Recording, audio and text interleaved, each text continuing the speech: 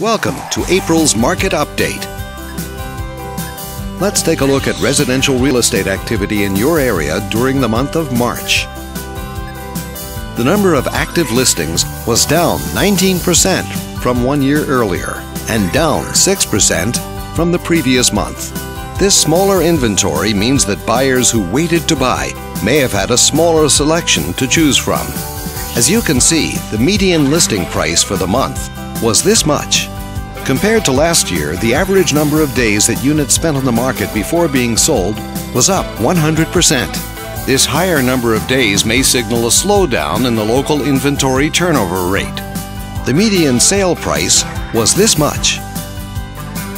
The number of units sold increased 100% year over year and decreased 33% month over month. Higher year over year figures indicate that more buyers have been finding what they're looking for. Thanks for watching. We hope you use this information to make smart, informed decisions in your upcoming real estate transactions. Click on screen to contact us for more information or further assistance.